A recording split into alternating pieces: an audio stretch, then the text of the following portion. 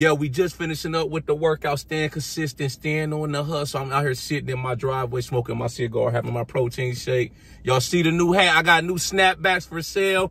Tap in on my website, theghettobodybuilder.com, man. We got a quick video, though. We're going to talk about success and what moves the needle when it comes to seeing success in life. This is the main thing when it comes to success. You have to be willing to take risk. The biggest risk in life is not taking any risk. And I'm not just talking about any risk. I'm not saying to go out here and risk it all, robbing a bank, selling drugs, doing crime, you know, something like that. That's something stupid that's going to land you in prison. That's hustling backwards. I'm talking about taking calculated risk. This is the thing I see with a lot of people, right? You know, some, a lot of people in life, you know, they'll do stuff like go play the lottery every week for 30, 40 years, hoping to get rich. They'll go to the casino, gamble a thousand dollars away, money they don't, they can't afford to lose, and they'll be scared, you know, to take that risk when it comes to starting that business idea they got or, you know, investing some money in something like the stock market or crypto or getting started in real estate. You got this grand idea, but you scared to take a risk on it because you like, I'm afraid of failing or I'm afraid of losing. You know, I'm afraid to lose money, but you would go gamble away some money. You, you would go play the lottery ticket $20 every week. That's what? That might be damn $100,000 over the course of 20 years for something that you never going to get rich. The odds of you getting rich off of that is what? One in a million, man. But you know what I'm saying? That's the biggest thing right there. That's the difference between getting wealthy or getting rich and just getting by. You have to go ahead and take risks. A lot of people, you they stand around, they look and seeing what everybody else is gonna do, seeing who gonna make the first move. It's just like at a football game. I like to use this analogy all the time. You at a football game, you got a hundred thousand people in the crowd in the stands watching the game, but it's 22 players on the field. You want to be one of the players on the field, making plays, making moves, going after what it is you want out of your life. You know what I'm saying? That's how you get ahead in life. You know, you got to take risks. That's the main thing right there. This is the next thing. You have to be able and be willing to do every day what most people do on occasions. You got to be willing to show up every day, time in, time out. Even when you losing, even when you you feel like you ain't having no motion, you feel like you just spinning your wheels.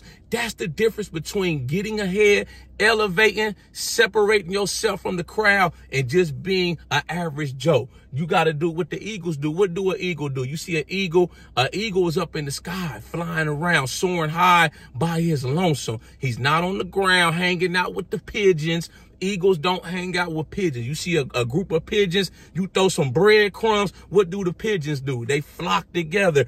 They trying to swoop in and they trying to compete for limited resources. The eagle, he's thinking smarter. He's thinking on an elevated state of mind. He's up above the pigeons. He see the horizon. He see the land of opportunity. That's how you got to do this right here, man. You know, you can look at, for instance, like with me, man, you know, when I said, as far as showing up every day. That's why I'm going so hard. That's why I'm grinding so hard with this YouTube thing, man. You know, I'm making videos every day. I'm showing up on it seven days a week. I'm posting damn near every day with the content, whether it be the long YouTube videos, the uh, YouTube shorts. I'm posting on my snaps, uh, uh, working out, motivational pieces on uh, Instagram uh TikTok, I'm posting everywhere. I'm showing up every day. You know, some people they may take the weekends off, rest up. That's when the real hustlers lock in even harder on the weekends, man. You know, you got your nine to five job. I got a nine to five job too. You know, you tired of your nine to five. The weekends is where you put in that extra hustle. You working on your side hustles. You working on your dream. Don't spend all your time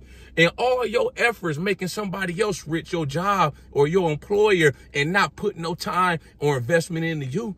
No, it don't work like that, man. You will be destined to work for somebody else for all of your life. You know, you got to be able to take that risk. You have to be able to jump off the porch. This is the next thing when it comes to being successful, elevating in life. You just got to be yourself. At the end of the day, you have to be authentic. You got to be 100 with it, man. That's the big thing these days. I'm seeing that even on YouTube, man. A lot of people, they posting videos, you know, And it's like they just being themselves. That's what like people like to see. They want to see you just be yourself, not try to come on social media, come online, trying to be something you not. Man, me, I just do me. You know, the right people, they going to find me. They'll gravitate towards me. If they don't like me, that's cool, man. You know, me, I understand that. I learned this early in life. You're not going to be for everybody. You don't want to be for everybody because everybody don't move the same. Everybody ain't cut from the same cloth. So just move to your own beat or your own drum do you, do what you like to do, do this life shit how you want to do, man, and you going to be just fine. you going to see, you going to see that you start to elevate and you start to separate from the crowd. You know, it ain't always about who could paint the prettiest picture, who could post the uh the best Instagram post and stuff like that, man. It's all about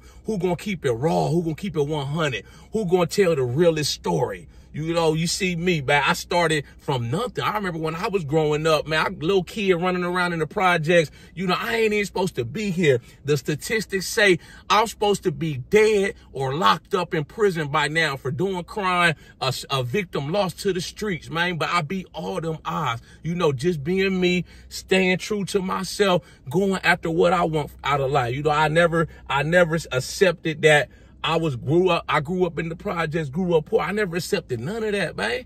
I didn't care about none of that, man. I, I, I got up, I stayed focused, I stayed on my grind, and I just kept going. I never stopped. I never let stuff, when I had setbacks, when I had people tell me I couldn't do it, I ain't listening to none of that. That just motivated me and encouraged and inspired me to grind even harder.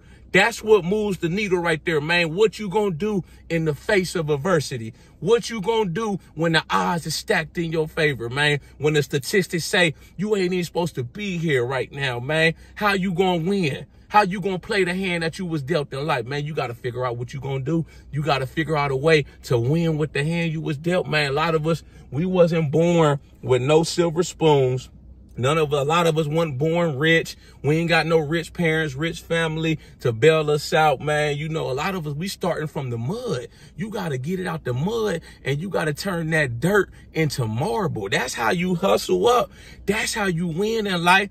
Everybody loves a success story, man. When you come from nothing and you become something, man. Don't nothing like that motivate and inspire people and it give them hope. You know, you see somebody else, they started from the same place as you and one like they started off they parents worth $10 million. So it's like they had an unfair advantage. They had a head start in life. Like I said, I grew up, man, we grew up in Section 8 we grew up poor, you know. Now look at me, man. I'm doing good for myself. You know, I've been in my career uh, what, 13 years. I'd have been able to buy a house, stuff like that. You know, I'm doing good. I'm doing well. And I like to use my story to try to encourage and motivate people, man, that may have came up or that's coming up in a similar situation to just keep going and to never let nobody tell you that you can't do it, man. You gotta, they gonna have to prove it to me they gonna have to prove that I can't do it. Otherwise, I ain't got nothing to say to me, man. I don't want to hear no negativity around me.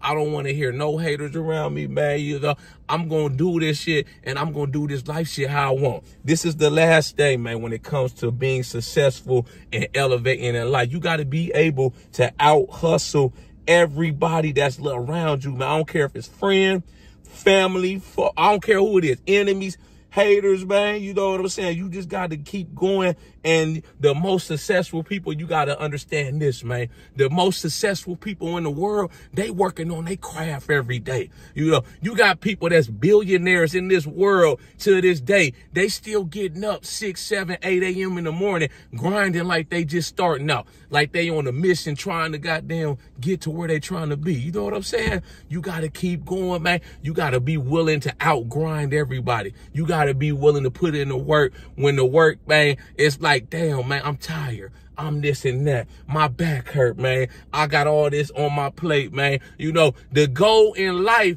is to eat, right? So you can't cry and complain about your plate being full. No, it don't work like that. How that work out? You crying and complaining, or you making all these excuses. You want the world to feel sorry for you just because you got a lot on your plate. I thought the goal was to eat.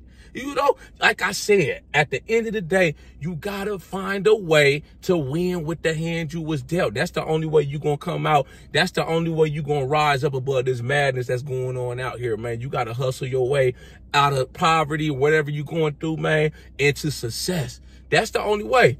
Ain't no other way, man. Ain't nobody coming to save you. Ain't nobody finna throw you a handout, a alley oop, None of that, man. You know, when I'm doing this, this ghetto bodybuilder movement, man, I ain't asked nobody for a, a cosign. I didn't, you know, reach out to people that already blew up, that's doing bigger th- and better things than me. You know, asking them, yo, can you put me on? Can you shout me out, man? You know, it came naturally. I just letting this grow organically, man. They rock with me, man. They give me a shout out, man. I, if they they tap me in today, people, you know, I got new people, new eyes on my project, then cool. If not, I'm back on the grind the grind don't stop. I got to keep showing up, keep putting in this hustle every day, man. I'm going to keep stamping. I'm going to keep stumping. I'm going to keep smacking shit like Ray Lewis, man. They don't respect me. I got to make them respect me. Y'all like this video, make sure you subscribe to my channel at The Ghetto Body Bodybuilder. Follow me on Instagram, TikTok at The Ghetto Body Bodybuilder. I got that merchandise for sale. Y'all see that, man? No pain, just gains. I got the hat to match with the shirt too, man. Grind harder, man. Cop you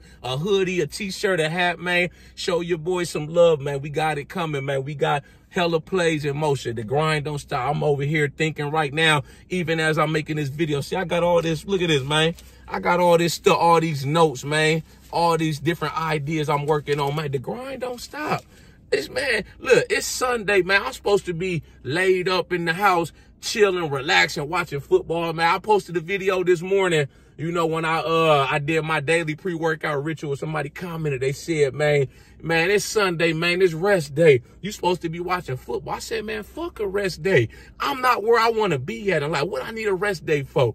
What is this like people that go to the club every week, but they not where they want to be at? I'm like, what are you celebrating? What are you going out and celebrating for? You know what I'm saying? I'm not where I need to be, so I don't need to be taking my foot off the pedal, easing up. I need to stay locked in and keep grinding, man. Rest, relaxation, a rest day, that's for rich people in my book. Successful, wealthy people. They got it, they got the uh the opportunity to take a rest day. They up. They where they want to be at in life. They can afford to take that. If you ain't where you want to be at in life, you can't afford to take no rest days right now, man. 2024, it's almost over. We got to finish this thing out strong. 2025, we hitting the ground running, man. It's a renewed mission. And it's like, you got to hit that ground running so hard. And just like you want to be out the blocks like Usain Bolt, man. You know, I'm coming.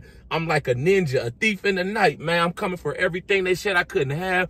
I'm coming in for all them statistics that was against me, all the odds that was stacked against me. I'm coming for it all with a vengeance, baby. Y'all got any input, thoughts, comments on this video? Make sure y'all drop a comment, show some love, hit that like button, man. Share this video, hit that subscribe button, man. And we just gonna keep on grinding. Y'all know how we coming. Let's get motivated.